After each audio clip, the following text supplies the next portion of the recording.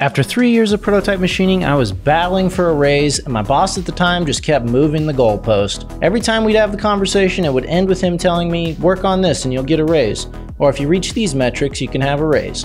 I would accomplish the challenges he put in front of me, and he would come up with something else. Now this went on for a couple months, and then he was fired, and the lead of the mold making department was put in charge of the entire shop that consisted of prototyping, mold making, Swiss lathe production, and injection molding.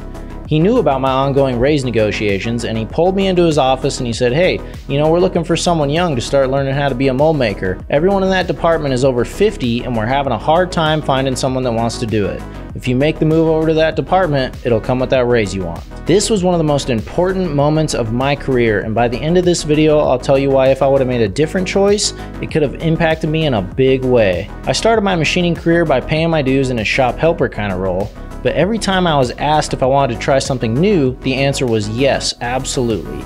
Did not matter what the task was, or if it was glamorous or fun or any of that. What I found is if I continue doing that, I'll be able to take something from every process I learn and apply it to something else in the future. Not only that, I'll eventually impact every area of the shop I work in, and that'll be incredibly valuable someday. We talk a lot about the importance of continuing to learn every day, but diversifying our skill set is also important. It helps when you're negotiating pay to have a combination of skills that is incredibly difficult to find. The only way to do that is to do things that others are unwilling to do. You have to be willing to step out of your comfort zone because letting yourself get comfortable is the fastest way to halt your growth. I've seen so many guys throughout my career that are offered opportunities to try new things and they turn them down because they don't like the thought of stepping away from the machine that they've been running their entire career. It makes them uneasy and it feels risky to them. But what they don't realize is risk is the down payment for growth. The story of how Tyson became lead lathe programmer comes to mind. Tyson was a setup guy at the time, and the lead programmer quit and left a bunch of complex jobs that needed to be programmed and machined, and the due date was right around the corner.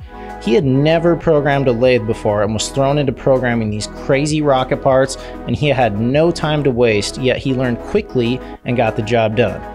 I'm guessing that made him a little uncomfortable, but now he teaches the world how to program and run a 9-axis mill turn. If that's not growth, I don't know what is. The point is, we have to take chances to see where things go. If you're a setup guy and you never take a chance on programming, you're limiting yourself in a big way. If your first experience is on a lathe and you stay there, you'll never know how good of a mill guy you could have been, or how much you would have enjoyed the wire EDM. When I was offered a chance to move into the mold making department, I have to admit I really liked prototype machining, so I was hesitant to accept the offer, but I did.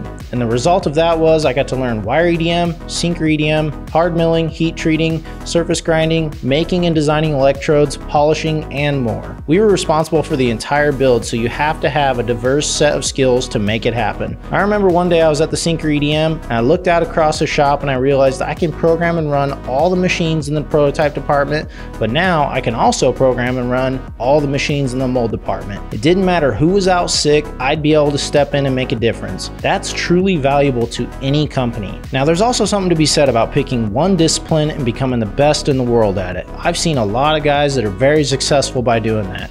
At the end of the day, it's all about having skills and experience that are very hard to find and being able to make a difference in every aspect of the shop.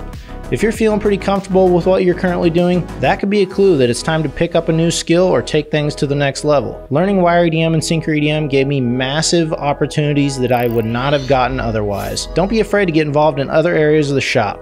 You'll become a better machinist and have more opportunities and make more money because of it. Thanks for watching. Check out our playlist tab at the top of our YouTube page for more content. Please like and subscribe before you go. It really helps us out, and we'll catch you guys next time.